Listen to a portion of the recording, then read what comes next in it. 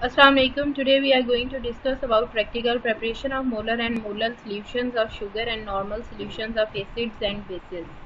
इसके अंदर हम देखेंगे कि किस तरह से मोलर और मोलर सोल्यूशन को तैयार किया जाता है इसके अलावा एसिड्स और बेसिस का जो नॉर्मल सोल्यूशन होता है, उसको कैसे बनाया जाता है सबसे पहले देखते हैं कि इस प्रैक्टिकल का ऑब्जेक्टिव क्या है ऑब्जेक्टिव ये है कि देखा जाए सोल्यूशन फॉर्मेशन करने में कि किस तरह से क्या रूल्स एंड रेगुलेशंस फॉलो होते हैं, क्या प्रिंसिपल फॉलो होते हैं, इसके अलावा सोल्यूशन की नेक्स्ट डेफिनेशन आ जाती है कि जब दो या दो से ज़्यादा कॉन्स्टिट्यूएंट चीज़ें आपस में मिक्स होती हैं तो उसको, उनके मिक्सचर को, उनके होमोजीनियस मिक्सचर को सोल्यूशन कहा जाता है। होमोजीनियस मिक्सचर ऐसा होता है जिसके अंदर कम्प्लीटली तौर पे जो कॉन्स्टिट्यूएंट्स होते हैं, वो एक दूसरे के अंदर मर्ज हो जाते हैं मिक्स हो जाते हैं। टू टाइप्स है बेसिक सोल्यूशन की simple solution and standard solution first of all देखते हैं कि सिंपल और स्टैंडर्ड सोल्यूशन में डिफरेंस क्या होता है। सिंपल सोल्यूशन ऐसा होता है जिसके अंदर दो या दो से ज़्यादा कॉन्स्टिट्यूएंट प्रेजेंट होते हैं, लेकिन उसकी स्ट्रेंथ जो है वो आइडेंटिफाइड नहीं होती। और स्टैंडर्ड सोल्यूशन ऐसे होते हैं जिसकी स्ट्रेंथ जो है वो हमें ऑलरेडी पता होती है। जब केमिकल रिएक्शन कोई भी प्रोसीड करता है तो वर्कर को पता होना चाहिए कि कितने मॉलिक्यूल्स जो हैं वो पार्टिसिपेट कर रहे हैं, कितने जो हैं वो मिक्स हो चुके हैं और कितने बाकी रह गए हैं। किसी रिएक्शन में कितने मॉलिक्यूल्स जो हैं वो पार्टिसिपेट कर रहे हैं, इस चीज़ को एवोगेड्रो नंबर के थ्रू फाइंड आउट किया जा सकता है। नेक्स्ट आती है मोलर मोलर और नॉर्मल सोल्यूशंस की डेफिनेशन मोलर सोल्यूशन ऐसे सोल्यूशन होते हैं जिसके अंदर आप इसको देखेंगे कि वन ग्राम मोलिकुलर वेट आपने किसी भी सब्सटेंस का लेना है, जिसने आप, जिसका आपने मोलर सोल्यूशन बनाना है। और उसको डिज़ोल्व करने के बाद आप जो टोटल वॉल्यूम है, उसको वन लीटर तक रेज कर देंगे।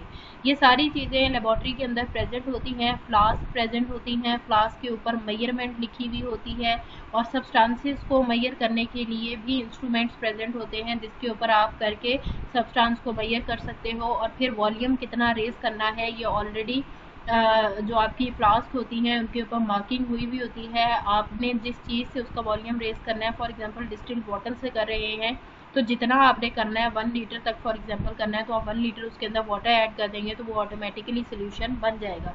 इसको एम से रिप्रेजेंट किया जाता है। नेक्स्ट करनी है आपने मोलर सोल्यूशन की डेफिनेशन ये ऐसे सोल्यूशन होते हैं जिसके अंदर वन ग्राम मोलिकुलर वेट जो है, वो सॉल्वेंट का डिजोल्व डिजोल्व किया जाता है। यहाँ पे सॉल्वेंट ने सल्यूट आएगा, कि सल्यूट का जो है वो डिज़ोल्व किया जाता है 1000 ग्राम ऑफ़ सॉल्वेंट मीन जिसके अंदर आप जो सल्यूट और सॉल्वेंट हैं, उन दोनों की अमाउंट को ध्यान में रखेंगे. आपने वन ग्राम जो है वो सल्यूट भी लेना है, और उसके बाद 1000 ग्राम सॉल्वेंट भी लेना है. इसको स्मॉल एम से रिप्रेजेंट किया जाता है. इसके अंदर सल्यूट और सॉल्वेंट दोनों की अमाउंट जो है वो इम्पोर्टेंट होती है. नेक्स्ट आती है नॉर्मल सोल्यूशन की डेफिनेशन ऐसे सोल्यूशन जिसके अंदर one gram equivalent weight of solute is dissolve in one litre of solution मतलब एक लीटर सोल्यूशन आपने लेना है और वन ग्राम का आपने सल्यूट लेना है। सल्यूट को आपने जो मैयरिंग इंस्ट्रूमेंट आपके पास प्रेजेंट होगा, आप उसके ऊपर डालकर सल्यूट को मैयर कर लोगे। उसके बाद सल्यूशन जो है, उसका फॉर एग्जांपल वाटर जो है वो आप उससे इसका सोल्यूशन बनाना चाहते हो? तो आप जितना उसका रिक्वायर्ड होगा वन लीटर तक उसके अंदर वाटर डाल देंगे तो ऑटोमेटिकली सोल्यूशन बन जाएगा। सल्यूट वो चीज़ होती है जिसको सोल्यूशन के अंदर सल्यूट सॉल्वेंट के अंदर मिक्स किया जाता है। फॉर एग्ज़ाम्पल अगर आप चीनी का और पानी का सोल्यूशन बना रहे हैं तो चीनी उसमें सल्यूट होगी और चीनी को आप पानी के अंदर डिज़ोल्व करते हैं। तो पानी जो है वो उसके अंदर सॉल्वेंट हो जाएगा। और सल्यूट और सॉल्वेंट चीनी और पानी जब आपस में मिक्स होंगे, जब वो अच्छे तरीके से मिक्स हो जाएँगे तो उसका सोल्यूशन बन जाएगा। इस प्रैक्टिकल को करने के लिए अपरेटस में आपको फ्लास्क चाहिए होगी वन लीटर की, क्योंकि आप मोस्टली सोल्यूशन जो है वो वन लीटर के बना रहे हैं। मयरिंग सिलेंडर चाहिए होगा एनालिटिकल बैलेंस चाहिए होगा, ताकि आप सल्यूट की जो वेट है वो मैयर कर सके। उसके अलावा आपको हीटिंग अपरेटस भी चाहिए होगा ताकि सोल्यूट और सॉल्वेंट को अगर मिक्स करना है तो आप हीटिंग अपरेटस पर रख के उनको मिक्स कर सके। नेक्स्ट आता है प्रोसीजर सबसे आप, पहले आपने क्या करना है कि आपने वेट कर लेना है। वे कर लेना है। अगर आ, जो आपका सल्यूट है उसको वे कर लेना है अपरेटस के ऊपर रख के जितनी उसकी अमाउंट रिक्वायर्ड है। उसके बाद आपने डिस्टिल्ड वाटर लेना है। अगर आप मोलर सोल्यूशन ले रहे हैं तो आपने जितना भी डिज़ायर्ड आपका वॉल्यूम है आप उस तक उसको रेज करके मोलर सोल्यूशन बना सकते हैं। लेकिन अगर मोलर सोल्यूशन बना रहे हैं तो उसमें सल्यूट और सॉल्वेंट दोनों की क्वांटिटी को आपको मैयर करना पड़ेगा और उसके बाद आप उनको मिक्स करेंगे। अगर आपका टाइट्रेशन का एक्सपेरिमेंट है तो उसके लिए आप एसिड को ब्यूरिट के अंदर लेंगे और इसके अलावा बेस का वॉल्यूम जो आपको पता होगा, उसको आप टाइट्रेशन फ्लास्क के अंदर लेंगे।